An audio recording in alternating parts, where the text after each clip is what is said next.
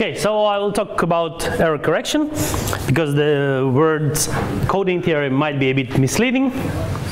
But yeah, we'll see. Yeah, uh, so so let's say you are sitting here with your mobile phone and you want to send a nice picture to your friend in Amsterdam. For example, who is UVA is Universiteit Vrije, Amsterdam, some, some, whatever, some computer in Amsterdam. And this is how it looks like if you try to do it from Linux. Uh, so just tracing the root of your packet. Just here's just basically simple packet. But maybe not everyone understands what's going on there. So here is how it like happens in on, in geographical perspective. So the packet from Tartu first it goes from your phone. It goes most probably to this white thing which is access point. From there, then it goes to the university server. Then uh, I'm not sure exactly if the server is connected directly to Tallinn or maybe not. But anyway, soon it ends up in Tallinn. Then your packet is sent to Hamburg, most probably on the bed of the Baltic Sea. And then from Hamburg, somehow it goes to Frankfurt am Main. And then finally it goes to Amsterdam, and then also a couple of points in Amsterdam, but it's local already. And of course, when you send a picture, like I know, like in WhatsApp, you don't want to wait ages, and you want it to be sent very quickly. But you also want it to be sent without mistakes. So you want your friend receive on that side the same thing you've sent. But the problem is that in every communication media, in the cable, in the air here, in whatever is satellite communication, whatever, there is always something which is called noise. Like we are known, we are used to know what noise is in real life, like just when you sit in the pub with a friend and talk, and there are a lot of people talking you, the noise is just something which uh, which makes your conversation a bit more difficult, uh, but a bit more passionate because you need to speak louder. Uh, but this, the same exactly effect happens in the, as I said, in cables or like in fiber optics, in basically anything when you transmit any data information. So, for example, let, who knows who is that? Yes, it's Audrey Hepburn. Uh, so what, for, let's say, for example, you want to send this picture. And let's say oh, that the total amount of errors from your phone here, because as I said, there are a lot of noise, from here with all this route to Amsterdam, let's say it's 15%, 10, 15%, which is actually very mild, mild uh, estimate. So what you get after is something like this if you don't do anything, you just send as it is. So like, let's say, so here basically what I did, I just took 15% of the pixels on the picture, just make them white. So this is what you, not really fancy, right? I mean, like, maybe 50 years ago, people would be really happy to get this in one second, even less in Amsterdam, but not, not nowadays. yeah, uh, so uh, we'll not show the video because actually I managed to find uh, because another type of data transmission is uh, writing data and reading data. And one of the examples is uh, compact disk. A bit uh, archaic now, but I found the reader, so we can have kind of live presentation. So it was invented by the end of 80s, uh, usually mostly by Philips and Sony. Philips in Netherlands and Sony in Japan. Uh, yeah, so here, every, all the data is encoded with the error correction techniques, which we will talk, which is the idea of this talk. But first, like demonstration. So, uh, in theory, if you damage, if you scratch the disk, it should still work fine. So, uh, does it? Yeah, thank you. So let's say, like, I feel like a magician. uh, so we take the disk and like let's let's scratch it. Like, do you see? It's scratched. Yeah. yeah. I hope it will play after. So in theory, it should play again after this. Uh, of course, if Windows allows it to play.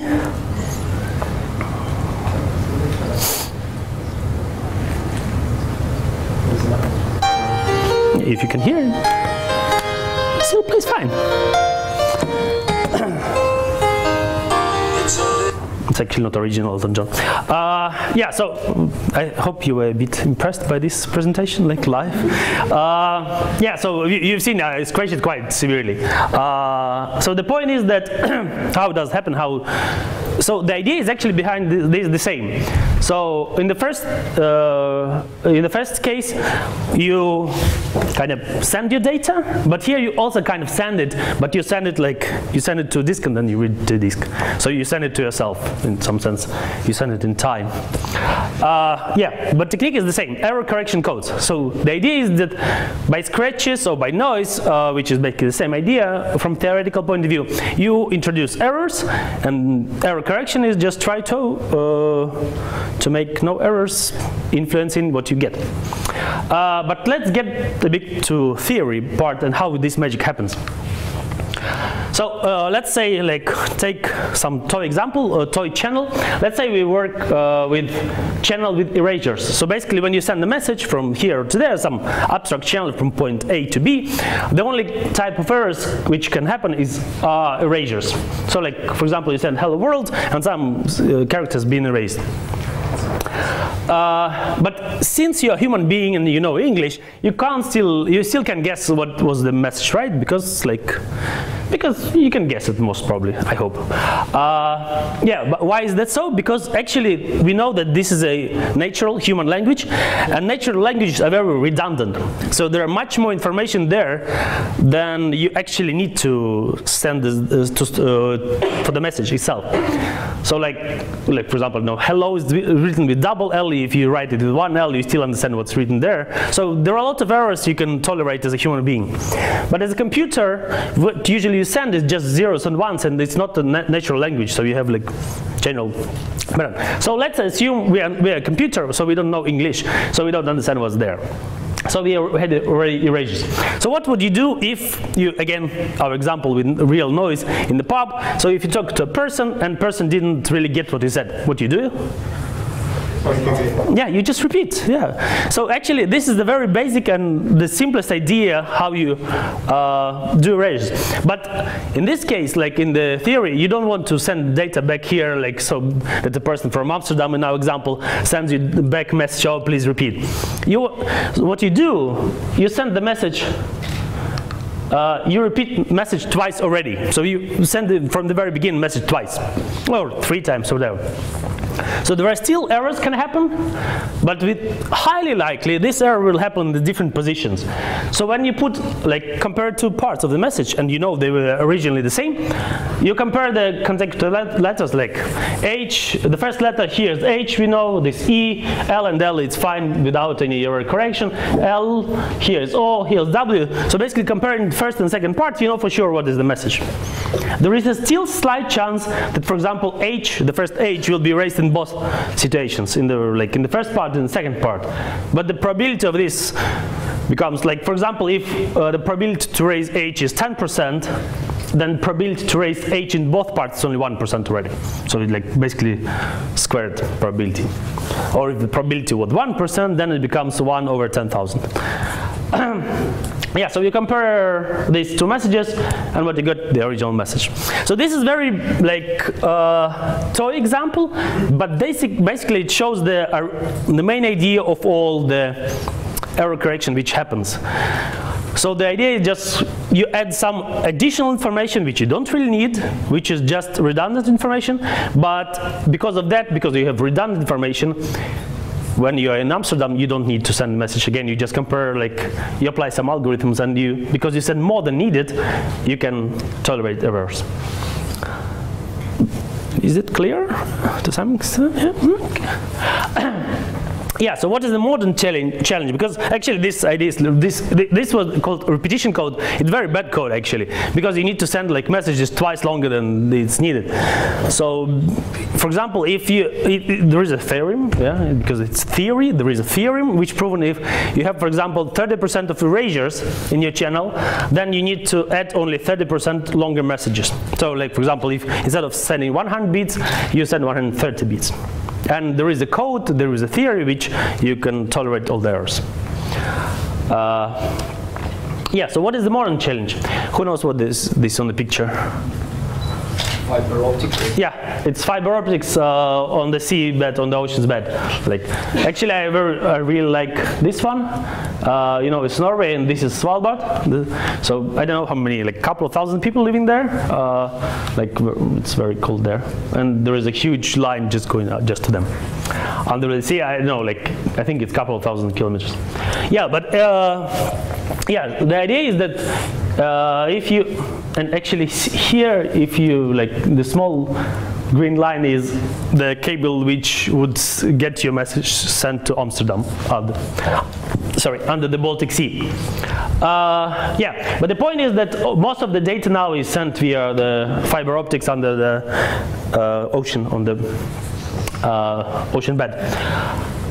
And the point is, the very good about fiber optics is it's very fast. It's very good. Like for example, like if you Google a bit, just some random number, like current speed of fiber optics, one petabit per second, which is 10 to the power fif- fif- 15 per beats per second. Uh, so like, I mean like these numbers are so astronomically high, you don't really grasp what is this.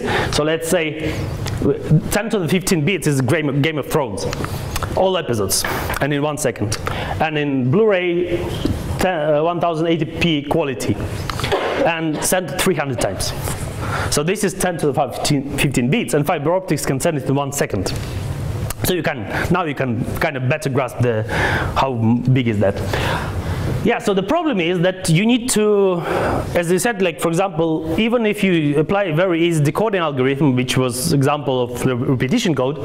So for example, you say not Game of Thrones 300 times, but 150 times, and then you repeat. Then just to compare this amount of data, you need a lot of time. So for example, let's say so this is one kilobit, which is 1024 bits. You know, bits, zeros and ones. Yeah. Uh, so how fast we should to the, the computer on the receiving side should be able to decode this? So let's say it decodes one kilobit, this amount of data, in 0.000001 second. So one over million seconds. Then uh, to decode this, the stuff, it will take 12 days. And the data comes in one second. So next second, you will have 300 more, see, uh, like not seasons, copies of all Ga- Game of Thrones episodes. So the, the modern challenge is you need to do something to decode extremely fast. Like, and for that, there is actually very sophisticated algorithms. So for example, one of the simplest and used one is called load pair check codes. So the idea is that you have bits, but you not just repeat as we said in our repetition code example. So you put the bits like in this manner, and then you have this structure called Tanner graph, and the idea is that the sum of incoming edges should be always even. So for example, for this it should be, we have two. Fine. For this we have one, zero, and this is erasure. But we know that the sum of them should be even. So this 1 plus 0 gives 1 plus something here, which is either 0 or 1. So to make it even, epsilon should be Yes, we should be 1. Someone is still following me. Uh, and the same is for here. So in fact, the algorithms are very highly mathematical. There are a lot of proofs a lot of research, but I hope you got the, at least the main idea. So lessons learned from today. You cannot avoid noise in the whatever data you send. If you like, if you lost me somewhere in the beginning, like just back, get back on the ship and just read what's written here. So you cannot avoid no, avoid noise. It's just you know physics, real world. Uh, but you can repeat, and it's just the basic idea of how we do. So you repeat the message, and uh, now you should be really fast. And that's it. Thank you very much.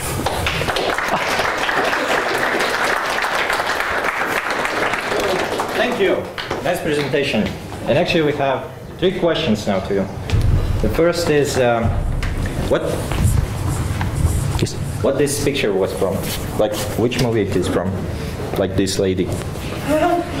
I just googled Audrey Hepburn, and you know it was the first one. Okay. I don't know, maybe Breakfast at Tiffany's, most probably. Okay. If you don't know the movie with Audrey Hepburn, say Tiffany. Uh, second question: What will happen if you scratch the CD from two sides? On two sides. Let's try.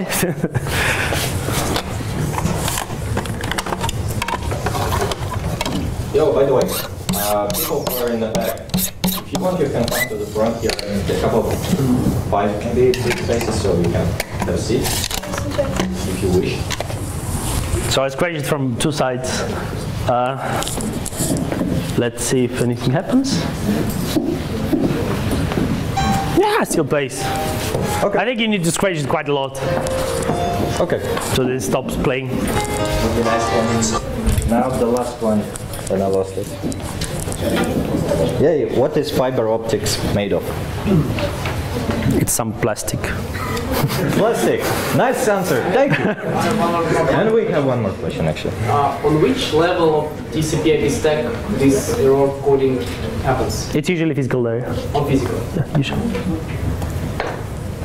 Cool. Some more questions? fiber optics are made of uh, quartz uh, silicon. I can't hear. Uh, they are made of quartz and silicon. Yay. Fiber optics is made of quartz and silicon. Nice note. Cool. Let's have a round of applause. Uh, now, one more thing I want to remind